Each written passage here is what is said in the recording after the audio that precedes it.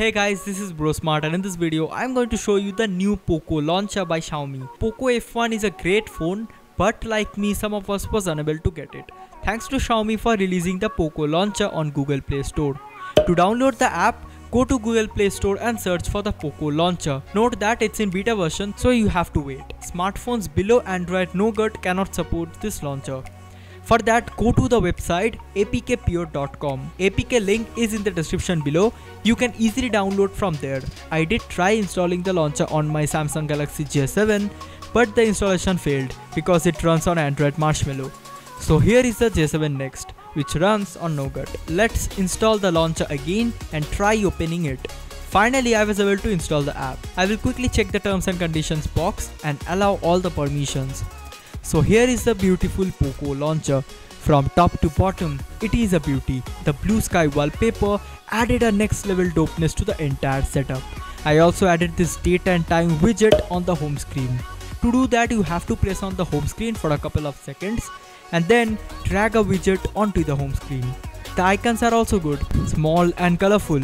Swipe up to open the app's tray or the app screen. Another feature I really loved is the categories. We install a ton of apps. Sometimes it is very difficult to find an app quickly. So categorizing all the apps will not only help you to find an app quickly but also organize all the apps properly without making the app tray or the app screen clumsy. For example, you will find the Facebook application in the social media category. The size of the launcher is 16 MB and as I said earlier, it is compatible with most Android smartphones above Android version 6. I hope in the future an update will make this launcher available for all the users. It's great opportunity for users who have a boring, buggy and cartoonish UI. On the bottom there is a search bar, to the right we have a slider. Should I make a video on Poco launcher versus Nova launcher?